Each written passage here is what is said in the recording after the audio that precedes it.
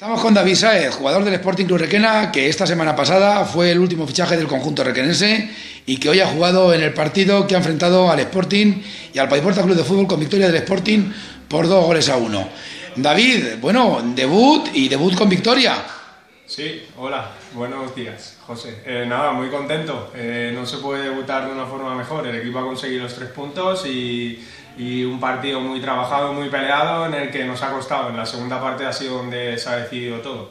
En la primera parte el Paiporta ha salido eh, pues un poquito más arriba, para, ha, ha ido a por el partido. Sí, ha tenido dos, dos ocasiones muy claras, pero bien es verdad que la más clara de la primera parte ha sido la que ha estado en tus pies. ¿Qué te ha pasado ahí? Efectivamente, he tenido una ocasión de las que no se puede fallar eh, ni perdonar la ocasión que he tenido. Nada, le he pegado fatal al balón, no hay ninguna excusa. Ha sido fallo mío, eh, me ha dejado Víctor un pase que me he quedado un uno contra uno contra el portero y nada, le he pegado fatal al balón. Le he querido meter con el interior al palo largo, pero la ha cruzado demasiado. Un mal golpeo, fallo mío totalmente. ¿Y cómo te has encontrado durante el partido? Pues bien, ha sido un partido muy de mucha intensidad, con mucho trabajo, pero bien, yo he visto al equipo plantado, con seguridad, lo he visto bien. Ha, eh, ha habido fases del partido en las que hemos tenido que defender más de la cuenta, pero es lo que, lo que hay. Eh, jugamos contra el líder y, y lo sabíamos que iba a ser un partido competido. Si te ha sorprendido en algo el Paiporta. Mm, no, yo conocía el Paiporta. De hecho, cuando estuve en Burriana, la pretemporada jugamos contra ellos y eh, más o menos el equipo era el mismo que, es ahora. Entonces, eh, no, no me ha sorprendido. Lo esperaba como ha venido. Ha venido, pues eso, a, a tampoco. A, a no se ha arriesgado mucho. Entonces, nosotros, te- nos- quien se tenía que arriesgar éramos nosotros y, pues mira, nos ha salido bien en la segunda parte. En la segunda parte, el gol que ha marcado Víctor ha abierto el partido. ha, abierto la lata un golazo, un- una buena falta lateral metida por Reyes y muy bien, muy bien. O sea, balón parado, Vera trabaja muy bien eh, las jugadas y, y hoy lo hemos demostrado. Luego ha llegado el empate a balón parado por parte del Paiporta, una consigna que el míster os habrá repetido, os habrá repetido en el vestuario 500.000 veces. Sí. Faltas al borde del área ni una, falta al borde del área ni una. Y mira por dónde hemos hecho una falta, un par de faltas o tres al borde del área y nos han encasquetado una. Sí, bueno, el rival también es peligroso, lo sabíamos. Eh, de todas formas, esa jugada, si llega a dejar seguir el árbitro, era un uno contra uno en el punto de penalti que ya estaba contra Giovanni solo. También la ha pitado.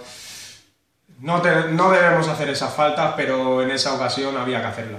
Si no era gol. Entonces, pues mira, luego el lanzador la ha tirado perfecta y nada, menos mal que luego hemos peleado y luchado hasta que hemos conseguido la victoria. Eso te iba a decir, cuando ha empatado el Paiporta, ¿en algún momento ha pasado por tu cabeza No. que los tres puntos se nos iban? No, porque quedaba partido, quedaban minutos y, y no hemos bajado los brazos.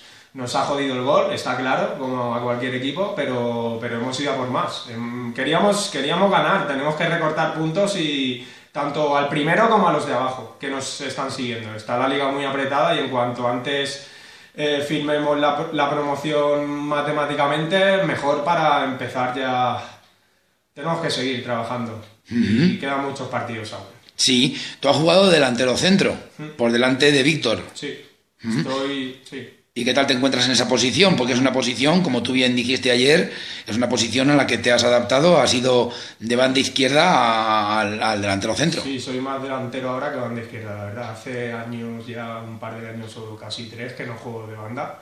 Pero bueno, lo que haga falta, si el míster considera que tengo que jugar en la banda, mm, no hay problema. Pero sí, estoy más acostumbrado ahora a jugar arriba.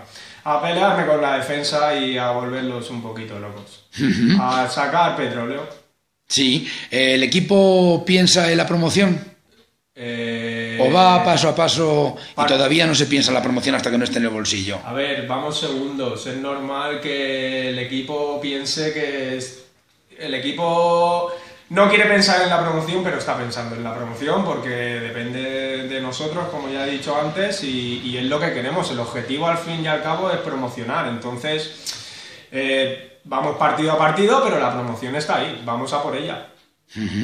Muy bien, David, pues enhorabuena por tu debut en el día de hoy y por, y por, y por tu contribución, que se me enreda ya la lengua, al, al partido y al equipo. Y bueno, pues a ver si se puede conseguir ese objetivo, que sería muy importante ¿eh? para el equipo. No desperdiciéis el terreno hasta ahora conseguido y continuar trabajando a tope para llegar a final de temporada al puerto que no tiene otro nombre que promoción.